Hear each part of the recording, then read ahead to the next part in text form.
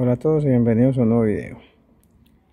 Bueno, hoy en el canal quiero hablar acerca de la instalación de esta bomba rotativa que es de marca Delphi y está montada en un motor Penske de 4 cilindros.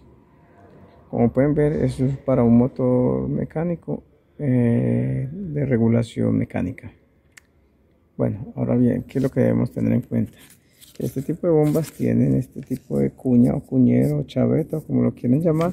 Hay que tener en cuenta de que con estas bombas no tenemos mucho problema ya que tiene este tipo de cuña. ¿Qué quiere decir eso? De que solamente tiene una posición de instalación.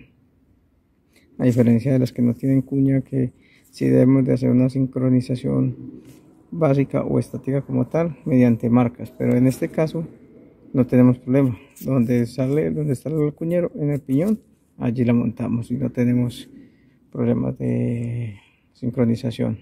Eso sí, tenemos que tener en cuenta que, que si han girado el motor, o sea, este piñón que se ve acá al fondo, donde va montado, donde va montada la bomba, por acá, donde va montada la bomba, lo han girado o lo han sacado o lo han movido, es donde podemos perder la sincronización del piñón. Entonces ahí sí deberíamos de hacer otro trabajo que es desmontar la tapa frontal para volver a alinear marcas y hacerle la sincronización básica o estática de los piñonerías como tales, como el eje de levas, el piñón de la bomba y el piñón del cigüeñal.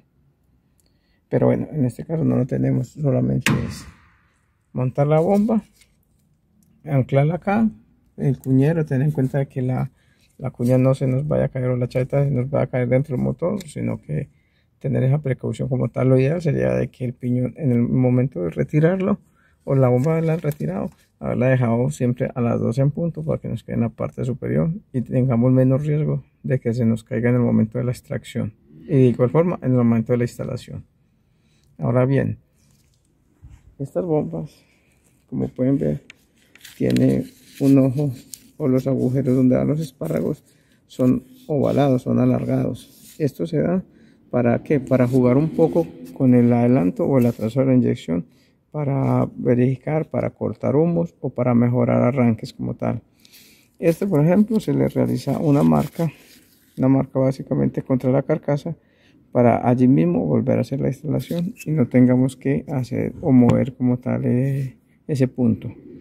Si en algún momento uno tuviese ese problema, lo ideal es dejarlo siempre en el centro para evitar de que tengamos opciones de girar hacia la izquierda o girar hacia la derecha, avanzar o atrasar la inyección como tal en la bomba. Vamos a instalar la bomba y realizar pruebas.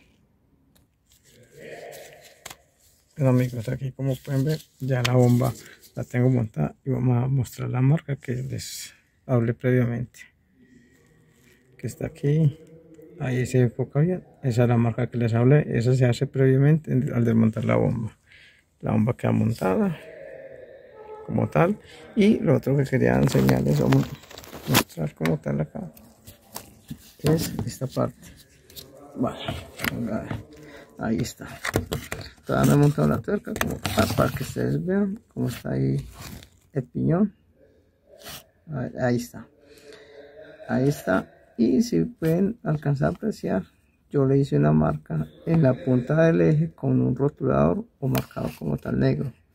Esa marca es para orientar la cuña o la chaveta que sepa yo o que sepa uno de que está alineada la chaveta en, el agujero del piñón o en la guía del piñón. Entonces ahí garantizamos de que nos quedó bien montada alineada la, la cuña o la chaveta en la muesca del piñón y ahí sí podemos hacer el proceso de montaje de la de la tuerca de la bomba. Estas tuercas normalmente de este tipo de bombas rotativas llevan y que tienen este tipo de cuña llevan alrededor de 52 libras pie o 70 newton metro. Esa es casi la medida estándar para apriete esta tuerca